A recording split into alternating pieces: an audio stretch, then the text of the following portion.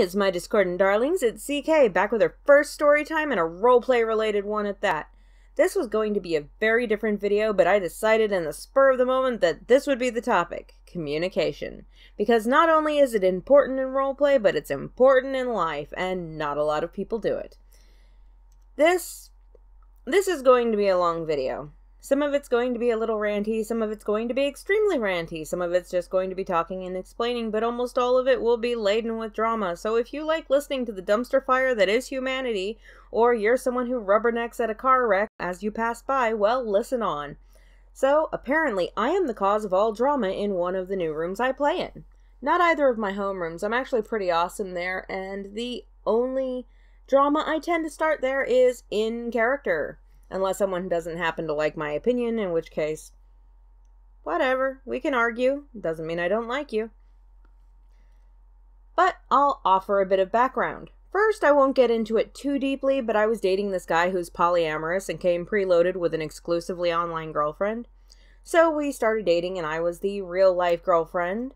So it was more like a long distance relationship up until about two weeks before this situation, because we lived in different states talked about visiting each other, the whole shebang. So, one day, a few after New Year's Day, I opted to pop into this room that my boyfriend had taken up playing in, and was run by someone I considered at least a pleasant acquaintance and possibly a casual friend. I am a curious person. Seriously, cat, kitty, there's a reason. Now, they have a Rose Wilson and a Grant Wilson player, and apparently Grant's story is that he's looking for his mother, Adeline Kane Wilson, Deathstroke's ex wife. Now, I play Addie in DCN, DC Noir. She's not a huge sought after character. In fact, most people probably have no bloody clue who she is. Anyway, so both Wilson children players urged me to pick up Adeline in the room. I was a little uncomfortable with the idea initially because I had Addie in DCN, but I decided, fuck it, I can do something different with her in this place. So I picked her up. While I was doing that, I noticed that my boyfriend also had Superman. Now, about a year ago, prior to this, I was, well, well, I was bitching rather vehemently about the Superman who plays in DC Noir to my boyfriend. He's an excellent Superman and the player is a doll, but the boy has a bad tendency to stick his foot in Clark's mouth when it comes to Lois. For a time, he broke my Lois in a way that required the Flash to fix it. If you know anything about DC Comics, you know it's pretty bad when you need the Flash to come in and course correct. At that time, my boyfriend had mentioned that he wished we could play Lois and Clark because he would pick up on the cues and stuff that I had basically gotten to the point of having to lay out for this Superman player to actually pick up. With that in mind, I tentatively grabbed Lois Lane because I wasn't about to just grab her and be like, You're stuck with me whether you like it or not. I'm not that type of player. Anyway, I approached him and asked him his opinion about it, and this is how the conversation went.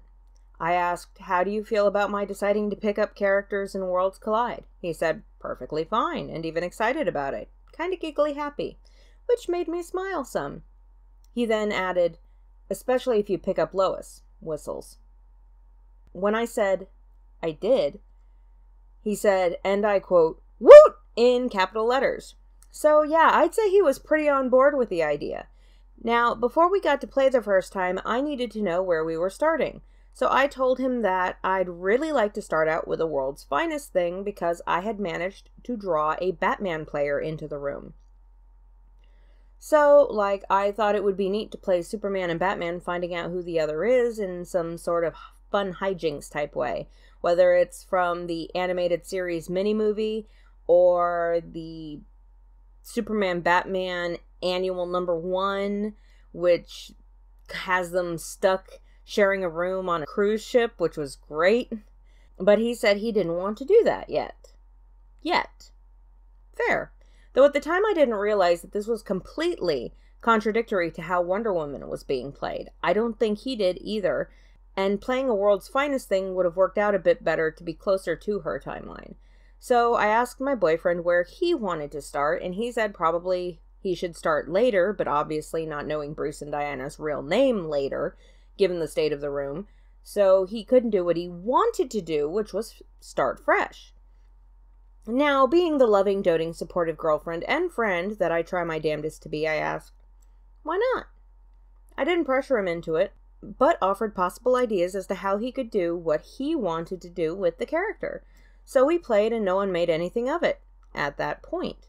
Now comes the fun part. The Batman player? Yeah, he's an old friend I got back in touch with, like really old. He started role playing online a few years after I did, and not too long after our main characters were married. Even after we lost touch, anytime I saw him use a name I remembered, I'd go in and try to touch base with him, like, Oh my god, there's Meridius, must chat, it's been forever! I was a little extra in my excitement. We'd catch up, lose touch again, then the cycle would repeat every couple years. Well, this time I found him in the big slice listening to music, and I had just, within the last year or so, found out that this new name was actually his which you could have knocked me over with a feather all this time and I could have caught up. Anyway, so we get to talking and he invites me to play in his new room, which is actually the Vampire Diaries slash Originals room, Monaco. And I invited him to come play in DC Noir. Now, at first, there was understandable hesitation given some things that had happened. So while I was twisting his arm, so to speak, I invited him to come play in Worlds Collide, where I'd picked up Lois and Adeline. Oh, and Harley, because I have only met one other player I would trust with Harley Quinn and not feel sick to my stomach over. So, yeah. Anyway, I brought him in there so he could play Batman, because he and I had pretty similar beliefs when it came to Batman that he loved Talia al Ghul, but situations kept them apart. The way he put it, Tali is the wife and Catwoman is the mistress, which kind of makes it funny with her running from the altar in a whole you can't turn a hoe into a housewife way. But I love Catwoman too. Quite frankly, it's really hard to pick between Talia and Catwoman for me. And Batman and Catwoman's flirty cat and mouse dynamic, love it. So, no hate for Catwoman. I could be a little biased, but I loved Talia with Bruce. The player did end up picking up Lex Luthor and Owlman in DC Noir, but now that that tangent's over, after he joined Worlds Collide, he convinced another player from his room to come in who happened to pick up Joker. So that was convenient for me, because now I have a Joker player too. Awesome! I actually had a really good one in DC Noir, but he stopped coming online and I haven't had a good one since, sadly. So we started playing some after he asked me where Superman was being played in his story. I told him where my boyfriend had chosen to play him from, the beginning. And he said he'd work with that, which would put Batman to being a vigilante for two years and two years in as Batman. I could work with that. Anyway, when stuff went down, I was about to play storyteller for a scene for his Batman to do some detective work. He has some history with the online girlfriend too. I don't know, hasn't been divulged. Anyway, about two weeks prior to this, boyfriend and I broke up. It was mutual, we're friendly still, and it was actually probably the most awesome breakup I've ever had, except for this one where I actually set my ex up with a friend of mine who was a much better fit. Last I saw, they were still together, so yay, Cupid points! Or would that be Psyche points? Because Aphrodite's too full of herself and people loving her. Anyway. So, the online girlfriend has been playing Wonder Woman in this room since before any of us, and has her own established storyline. Now, regardless of anyone who might pick up the other two characters, she has been playing like the Justice League exists and the Trinity knows each other's names. Batman's player said to me that he didn't want anyone knowing Batman was Bruce Wayne, and I had Superman's player who had told me that he essentially didn't want his Clark to be aware of Bruce's identity yet, which would imply that neither would likely know her either. Anyway, the other night was when the communication failures, well, they didn't happen then, they just kind of came to a head apparently. So the conversation in the room is as follows. I am not leaving these up long enough for you to read at regular speed. If you want to read the posts, pause and read. I will leave them on screen long enough for you to do so.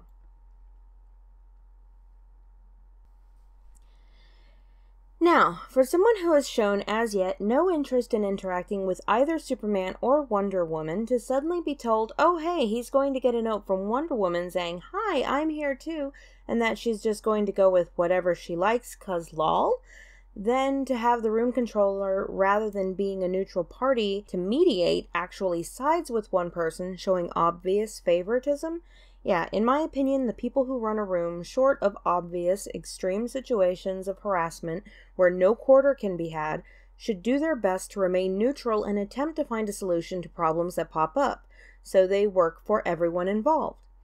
For this to happen to someone I had to convince to come into a room who has anxiety issues, yeah, I don't blame him for his reaction. Now, I will preface, well, I guess add context.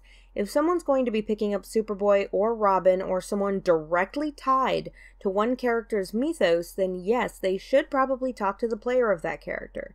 But if someone picks up a character that only indirectly is tied to another character through crossovers rather than their own titles, then up until those characters have players, so you know how they want to play it, it would be considerate just to not acknowledge their existence.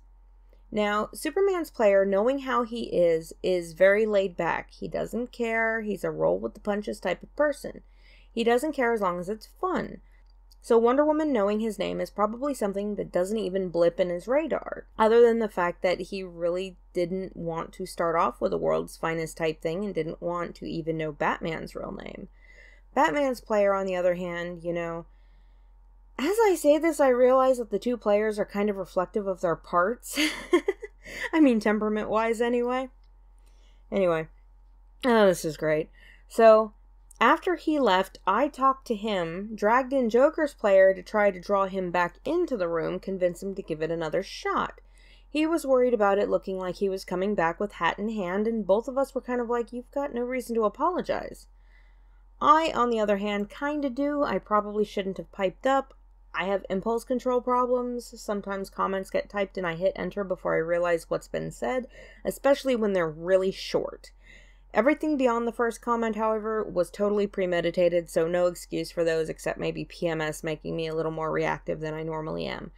Anyway, so after a lot of talking, with Joker's player taking a brief stab at trying to get me to leave the room with them, like totally just bail by showing me the room controller calling me out to him about how I have a lot of characters that I quote unquote sit on and basically saying that I'm the whole reason that the room started with character limits.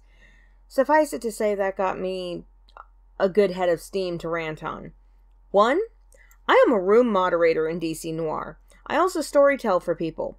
I'll also pick up characters to play off of others because they want someone to play them sometimes. I almost did the same thing for her, except that she had so many particulars about how this character was supposed to be played that she had created that I just couldn't do it. It did not allow me enough room for expansion into a three dimensional personality. Now, I have three lanterns. Two of them are holdovers from when we did Blackest Night.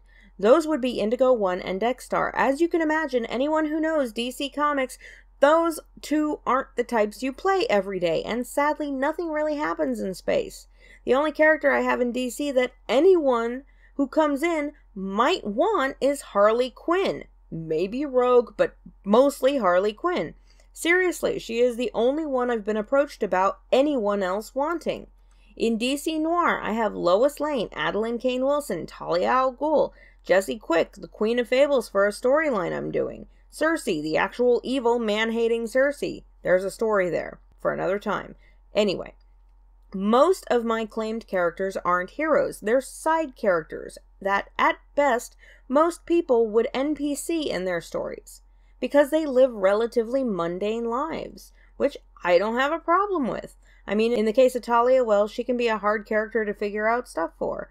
Yes, I have a lot of characters that almost no one wants. Oh my god, I'm holding on to such vital figures such as Jesse Quick. The only reason anyone would even know about her at this point is because of Flash the TV show.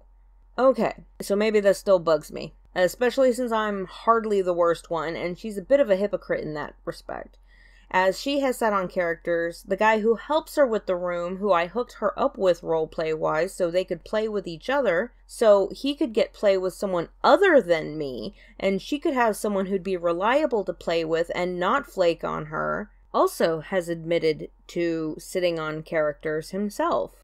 Yeah, I'm such a bitch, right? Anyway, that's going to be said a lot in this video. it already has been. Uh, so after that share, I still say, let's give it a shot. Convince them both that we should stay. Then the tune changed a little the very next day, and I was shown other things that she said. Joker's player came into our group chat saying, uh, I think we should just peace out, basically. And I was kind of confused. And then he said that the room controller didn't hold anything against Batman's player. Bats' player was like, Oh yeah? And he was like, Oh yeah, everything is CK's fault. Batsy said, Beg your pardon? And Joker's player said, Girl, I don't know what you did to piss her off, but everything stems back to you. Now, I did kind of unload a double barreled dose of what would you do in her direction the previous night, which she stepped away from. See that exchange here. Again, if you want to read it, pause. Now, I did also say something about not really liking Wonder Woman's player all that much, but that I do my best not to let that affect my interactions with her, but I deleted it because, well, it really doesn't matter. It's none of my characters are likely to have much interaction with any of hers, so yeah. I removed it because it didn't need to be said. It shouldn't have been said. I said it, but I should have left it out. It was too much. There are a few reasons for it. Part of it is jealousy from the previous relationship that hasn't quite subsided. I'm cool with the breakup, but the hit to my self worth that I got from the whole situation, especially the last few weeks, and just recently learning that I show signs of battered wife syndrome since one of my exes. Yeah, I've got subscriptions. Now, there was a girl who was banned from this room who was a friend of Wonder Woman's player, and Wonder Woman's player told her that she would not play in that room because of it. However, she forgot and ended up doing it anyway, and I guess she threatened to back out after being reminded of it, unless the girl was unbanned. Hey, awesome backing your girl after you ups. Props. I got off topic. I was supposed to be showing a little bit about how all the drama is my fault. Well, here's that little tidbit of information. So, yeah, I'm actually going to do this one in real time because I have commentary. I don't let my opinion of other players affect roleplay. In fact, I do my best to be pleasant with people I don't like out of character because I don't want to start things. I will say, those I am in a relationship with are a little different because relationships of all varieties have differing levels of drama, and when adore ya, hun, but when it takes a tactical nuke to point out something is wrong that needs to be dealt with, I heart him, but he is more than a little dense. And I'm not the first person to say it, I won't likely be the last, and he admits it himself. Then there's this comment making me look like a desperate, thirsty thought out for some other girl's man. Wench, I had options before he and I started dating. If we weren't together, I'd have likely been hanging out with a lot of other people. Anyway, that relationship is for another story time. Um, I play Lois Lane, Adeline, Harley, and Talia al Ghul.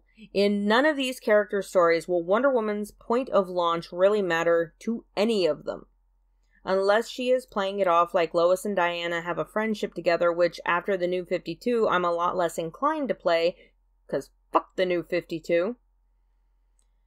I'm surprised that didn't come up earlier. Anyway, what he said I didn't insist. I was a bloody supportive girlfriend. I wanted to do World's Finest, which would have put them later in their careers, but no, he decided on wanting to start fresh, and I decided to back my boyfriend's preference. Color me fucked up. And no, the reason I did it is because yes, I ship Lois and Clark, but mostly because Soups' player and I both wanted to, because we both ship Lois and Clark together. Well, fuck you two. See, my boys have my back, and if I weren't so dead set on staying in the room and playing with both Superman and Batman, we'd probably be gone. That is Batman's player, Joker's player, his girl, and I. Not to mention Batman's player's brother, who was an awesome role player way back when, has said thanks to the way she handled the stuff, he outright refuses to come in now. He's been retired and was thinking about coming back in. Oh well? I'd like to know where, I mean, short of the stitch I had with one of my exes back in 2013, I'll admit I could have handled that better. Don't let yourselves fall deep, darlings, because it can bring out a really ugly side to your personality. But again, that's another cautionary tale for another time. It wasn't even an hour. Over dramatizing? And it only became bitching about halfway through. I mean, I provided the scripts, draw your own conclusion. The last comment is after a while of silence, and I just added that because yeah, it was her behavior as a room controller, not being neutral, that caused him to feel like he was a little backed into a corner. Since then, I have taken a proactive part in getting things settled and everyone on the same page, or I guess you could say I'm causing more drama. I got Superman's player and Batman's player to talking and asked Superman's player if he would so kindly explain to her that I am not some random thirsty thought chasing his ass around, quote, even though he's involved with Kansas, unquote, but had a bona fide reason for following him into play at the time and now. She didn't seem to be a big fan of that clarification, because supposedly her only response was K. Anyway, Soups and Batsy's players talked, seemed to get along fairly well, and were pretty much on the same page. I guess that works since Batman actually asked me where Superman was starting from, since, well, they came out at about the same time and they're actually rather closely tied. The Trinity is a modern thing in order to push Wonder Woman, who has had very little in the way of consistent writing. Seriously, compare the reboots of Wonder Woman to Batman or Superman as titles. Additionally, where Superman has like three titles associated with him Man of Steel, Superman, and Action Comics. And Batman has Batman and Detective Comics, but he's also had like Batman Incorporated and things like that. Wonder Woman has Wonder Woman. The argument could be made that she has Sensation Comics, but when was the last time that was published? 1952. The only other character I can think of who's had more reboots of their main series who is a member of the core Justice League is Aquaman. Flash has had as many if you count the one year prior to Flashpoint. Fuck the new 52. The Trinity only started being a thing officially in 2003 and is mostly a modern age thing. It was usually World's Finest before, which is Batman and Superman, or the Justice League. More talking needs to be done. Superman's player is going to be talking to Wonder Woman's player, so hopefully they'll get on a page that Batman's player can agree with. Personally, I'd love to just stick all three of them in a Discord DM and have them hash it out until they come up with something solid to do and can be proposed to the room controller, with me just kind of being a comic book nerd fly on the wall since I probably know more about the general mythos and can offer suggestions uh, than any actual, you know, input that said, I'm going to have my own little mediated conversation with the room controller. That was some dirty bull she was telling someone about me. Someone she apparently didn't know had my back to a degree. Hopefully it will go well. If not, well, I'm still willing to play. It's not like with my characters I have to interact with anyone who doesn't like me or I don't like. I won't refuse play, but I won't seek it out. I have enough play between Superman, Batman, Deathstroke, and Joker, not to mention all the stuff I need to plan for DC Noir. I gotta do space stuff. Badly. I need to finish doing my Queen of Fable storyline that I started last year, but is like herding cats because everyone has to have a different fairy tale. And then we have to get all together for the big boom, you know, take her out, put her in the tax code, something, I don't know. So, my first story time. I was hoping it wouldn't be such a dumpster fire. I was actually going to talk about how I got robbed twice. Maybe that'll be next time. I just had to get this out. There will be other roleplay related story times, but I wasn't planning on making the first time a roleplay story time. Remember, kids, don't say anything about other people that you wouldn't say to their face, especially to other people. It's just not a good look. Also, always, always, Always make sure you have all the facts before you say anything. Research is your friend and communication is key. Here's my PSA for the year. anyway, thanks for listening, and until next time, my darlings, have fun.